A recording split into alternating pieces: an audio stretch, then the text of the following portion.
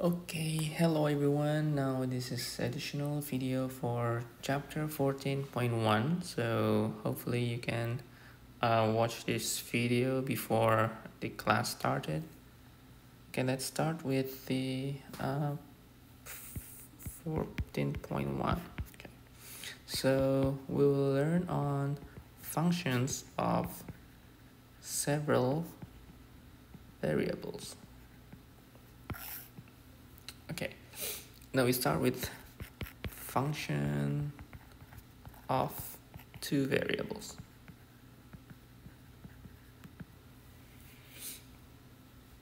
Okay, as an example, perhaps you can start with some functions t. Let's say this uh, temperature.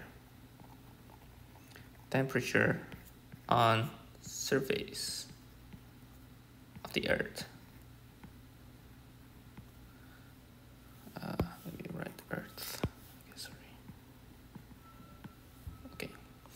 At any, let's say at any given time, at any given time, uh, depends on x and y. Okay, so we can write t in terms of a function of x and y. So this is what we call the, this uh, function of two variables. So we can also imagine this in a set of uh, graphs. Let me put the graphs first.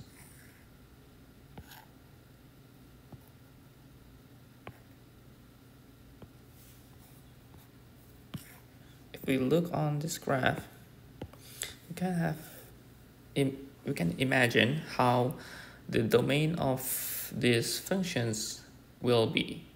So the domain will be set on this green area Okay, we have x and also y that we can set into several points and we can know that it will relate to z, which is the, the range, okay? Okay, we can write down the definition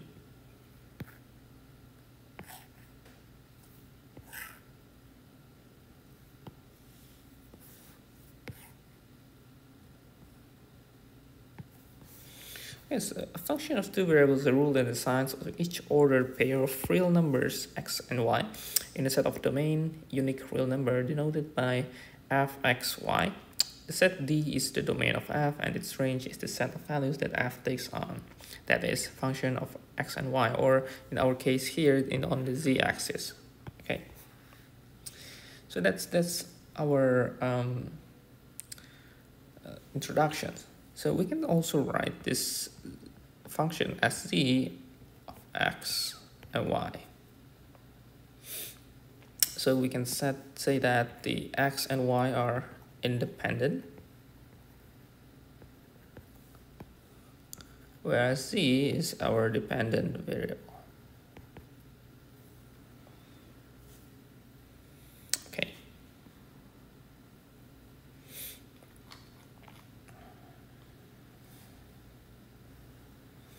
If you set uh, for example in just example we have function g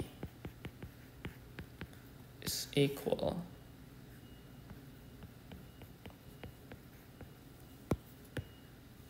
okay. If we want to find its domain we know that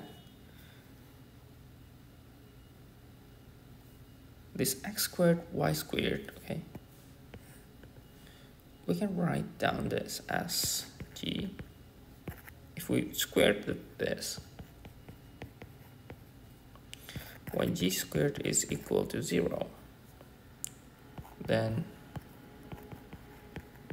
is equal 9 or we can write down that the xy plane is a circle. So we can write down the xy plane like this.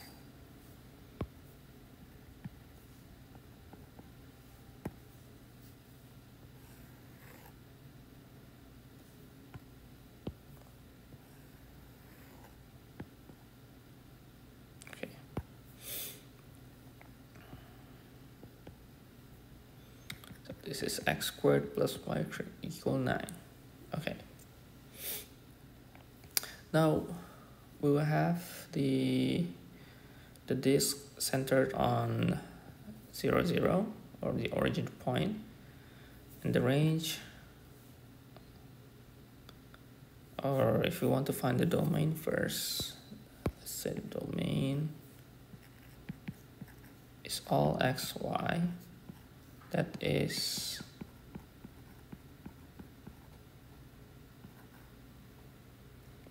or can say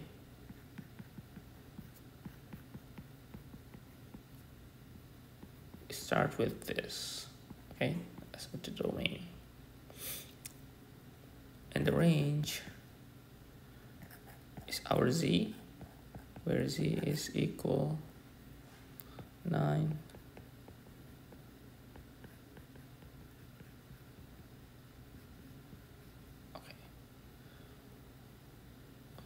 since z is positive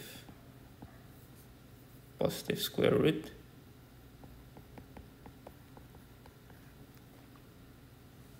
Then we have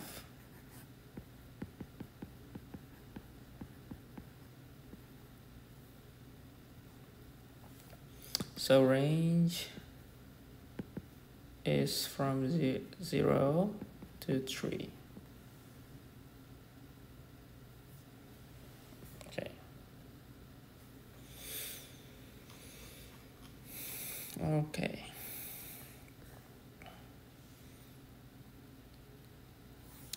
Okay next is uh, about the graphs. Okay to visualize the function of two variables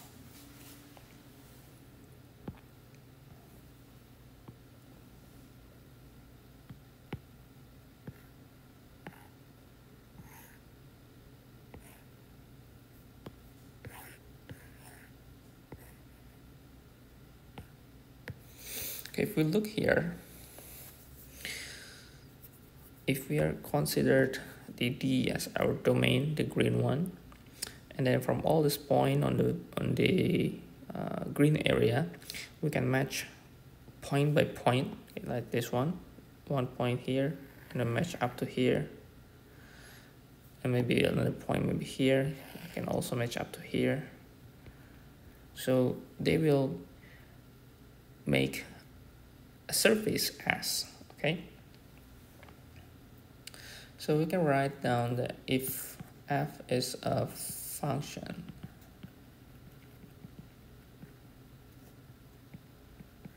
of two variables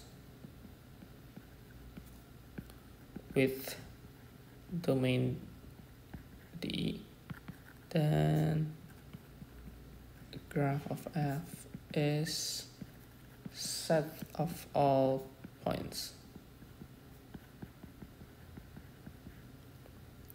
In the third dimension in the, in the space uh, in the space such that z is equal f x y and all the x y is in the domain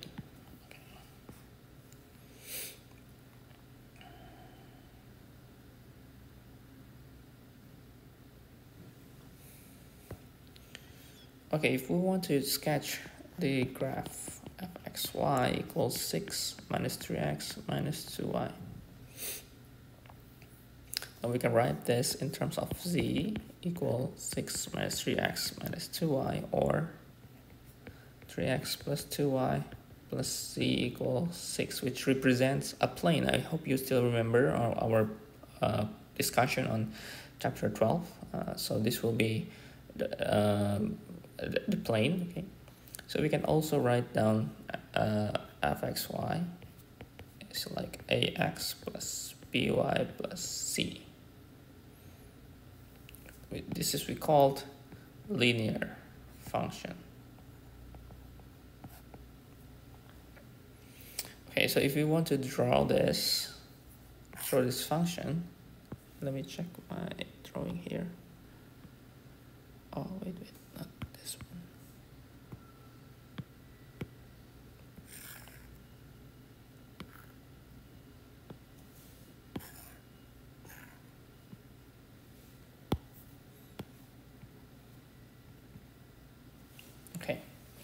that's that's the plane okay.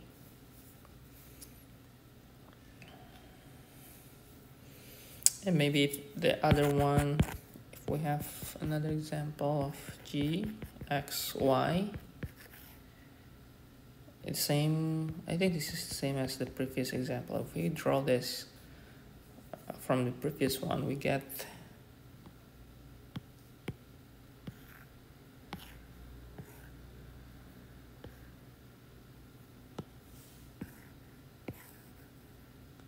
that will be our drawing. Okay.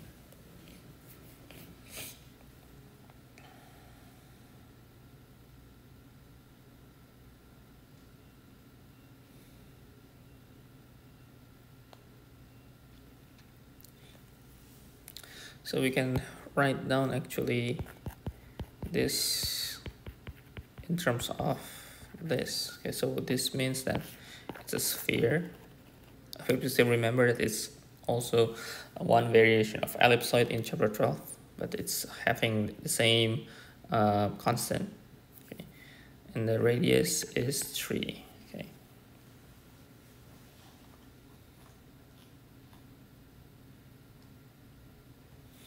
Okay, another way to uh, to visualize this function of several variables is through what we call the level curves or a con contour, contour maps.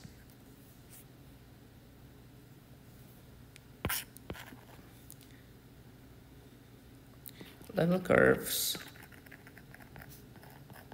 of a function f of two variables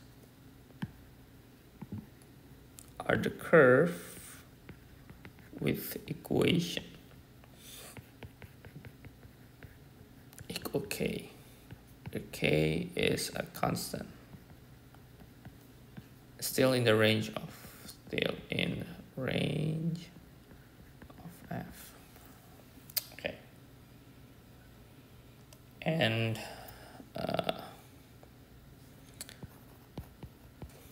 collection of level curves is called contour map.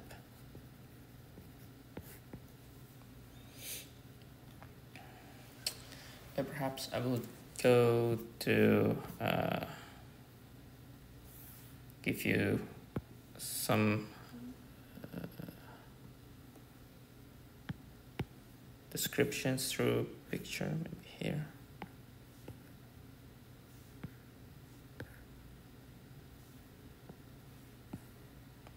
Now if we are going to look on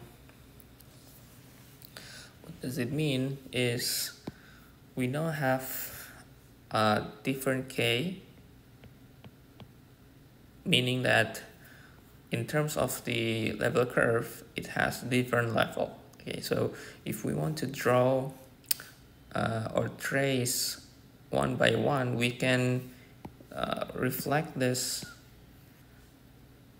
height into our uh, two dimensions uh, mapping. So we can map all the point and then in the in our in the applications we can look on this map. So we know that each line, each curve here, they represent different different uh, level, okay, different level.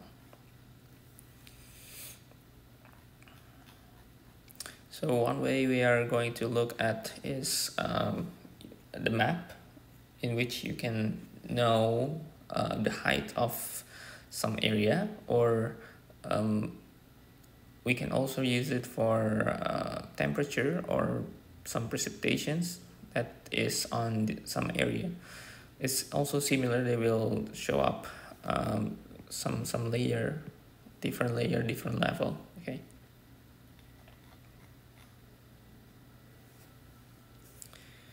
And there will be some graphs from chapter 12 that especially in the quadratic surface that uh, perhaps it will shows up and appear in chapter 14 so i hope still still familiar with some some graphs okay?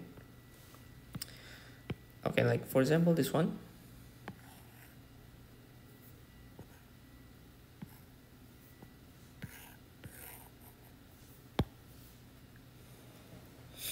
so this will be our functions of 4x squared plus y squared plus 1 we know that from our discussions this is the elliptic paraboloid okay? We have a parabola we have a parabola on both both plane both uh, yz and xz plane but on the xy plane we have a, an ellipse okay? And we can see that it's certainly an ellipse if we look on, on the xy plane right? From here it's an ellipse which actually represents different height okay?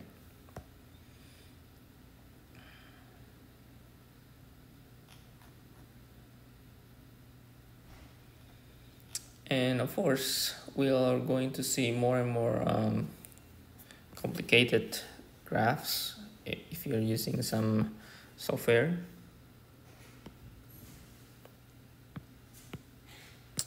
However, we are going to move on to three variables. So let me put some three variables into our notes here.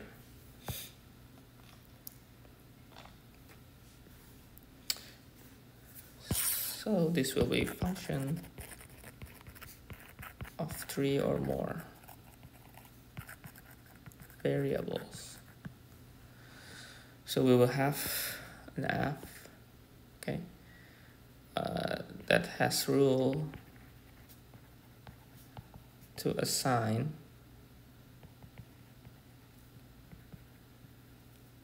to each order triple xyz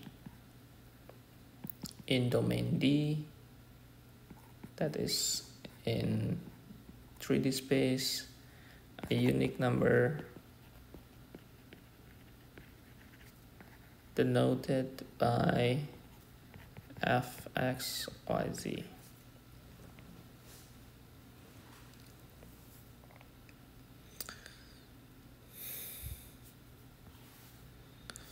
We can also uh, imagine this triple as in K, it's like a level surface that we did. And for example, if we have this um, x squared, y squared, z squared, okay, we know that this uh,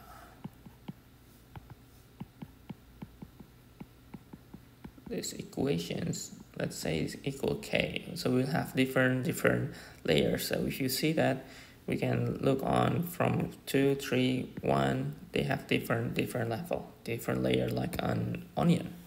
If you imagine like an onion.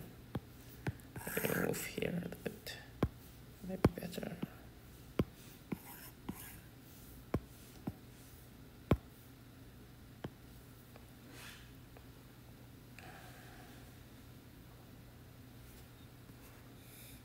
and then if we are going to describe another functions that will be in terms of x squared minus 1 minus z squared we can draw this as if we use some uh, some image.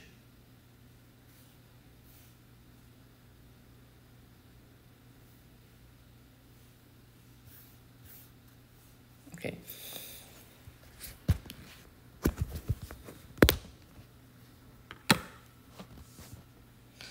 now this will be the family of hyperbolic paraboloid. So if you see that from, uh, from the equation itself, it's certainly giving you vibes that it's um, it has hyperbola. It has hyperbola from x squared and z squared. And then you can see also the parabola for x squared and y and y and z squared also parabola. So you will see a saddle that is uh, going to have y as the um, the center. Okay, so usually you have a z, right? Like in our discussion on uh, chapter 12.6, where we have y, and then uh, these functions will represent its different level. Okay, it's different level, so it will be going shifted on y-axis. Okay. Okay, now that's it for the um, the introduction for 14.2. So when we are going to in, moving into a classroom, we will start from the 14.2. Okay, so I hope at least you get a sense on where does the um, the discussion will going. Okay, we're going forward. So yeah